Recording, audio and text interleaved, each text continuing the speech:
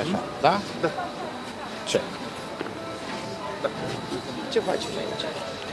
Ce facem aici? Uh, Cristi, veniți, vă rog frumos, un pic mai aproape. Aici uh, suntem la uh, un fel de final uh, a procedurii birocratice, de încheierea unui proces uh, prin care uh, clădirii din spatele nostru, în adiacența uh, uh, monumentului uh, Marilor Doina și Ion uh, al de Todorovici, uh, urmează să fie creat centru de creații, muzeu Doina și Ion al de Todorovici. Noi, ca autorități locale, am dus acest uh, procedeu până la capăt din punct de vedere birocratic. Acum urmează ca echipa uh, uh, care nemijlocit uh, va gândi cum trebuie să arate acest spațiu, cu ce să fie umplut acest spațiu, spațiu adiacent, uh, să uh, vină cu aceste propuneri și o să încercăm ca să ne ridicăm la uh, nivelul așteptărilor uh, respectiv. Este un omagiu uh, și un mic uh, lucru pe care îl putem face pentru acești uh, genii ai noștri uh, și uh, cred că avem datoria morală, toată lumea, să punem umăr la umăr, uh, capacitățile noastre intelectuale, ca lucrurile să iasă până la urmă frumos. Mulțumesc! Cristi, vreau ca și- uh, moștenitor de drept a tot ce înseamnă uh, uh, deci frumosul din uh, Doina și Ioana de Tudorovici, începând cu talentul și finalizând cu notele, drepturile de autor. Apropo, lucruri pe care tot trebuie să le uh, finalizăm ca și uh, proces de digitalizare a unor partituri despre care oamenii încă nu cunosc. Că oamenii nu cunosc, e un uh, proces uh, la care am sperat, iată, mai mult deja de 30 de ani, 31 de ani, e, anul ăsta se împlinesc de la trecerea în neființă a Ion și Doina, părinților mei. Uh, Am bătut la multe uși uh, și uite că de câțiva ani uh, ne-a uh, sprijinit primăria uh, orașului Chișinău în frunte cu primarul Ion Ceban uh, pentru organizarea uh, momentelor memoriale la cimitir, de ziua de naștere a lui a tatălui, de 7 aprilie, de 15 noiembrie, de ziua mamei. Și revenind la ceea ce mie mi se pare extraordinar, e o chestie incredibilă pentru că, dacă vă dați seama, 30 de ani nu s-a făcut ceea ce s-a realizat acum. Indiferent de momentele politice. Noi nu vorbim acum de politică, oameni buni. Noi vorbim acum de omenie și de inimile noastre care bat la fel.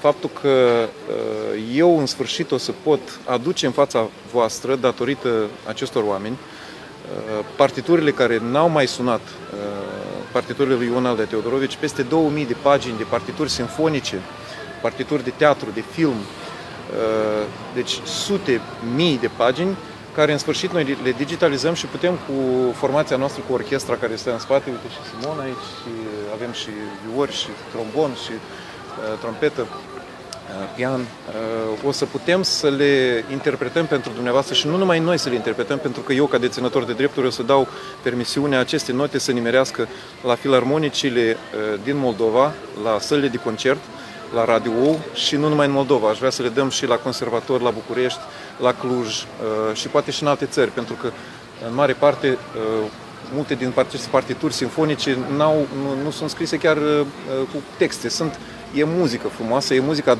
dramatică și lirică a lui Ion Alde Teodorovici, care e bine să nimerească la urechile dumneavoastră.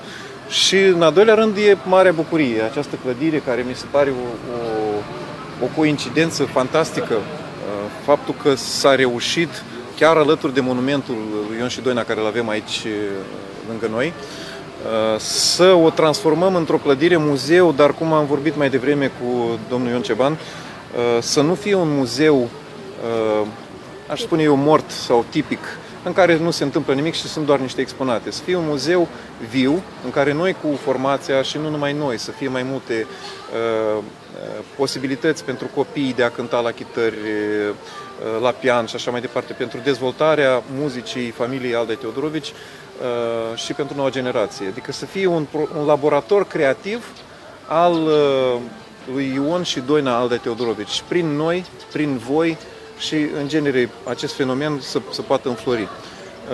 Deci, acest muzeu deocamdată este în stadie de, de incipientă, adică el va trebui adus la starea... Sunt pereți. Da, sunt doar pereții.